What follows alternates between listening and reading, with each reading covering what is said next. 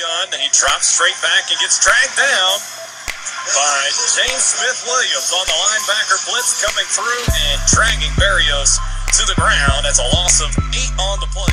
Hitchcock is in the shotgun. Dehaney offset to his right. Hitchcock will drop back, trying to throw it, and he is wrapped up in the backfield, dragged down as he tried to dive back to the line of scrimmage, and the sack going to be picked up by James Smith Williams, the linebacker. Initial pressure by Sam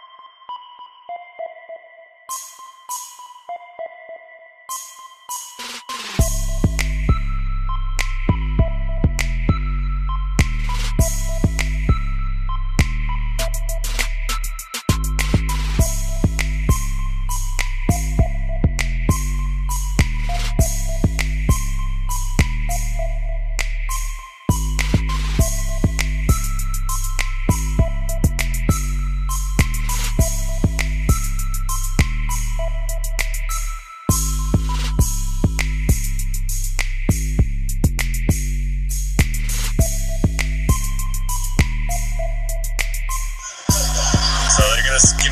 to Malcolm Hitchcock going straight forward, and he got hammered right at the line of scrimmage. No gain on the play, as it looked like James Smith Williams coming up to lay the wood on him right at the 20 yard line.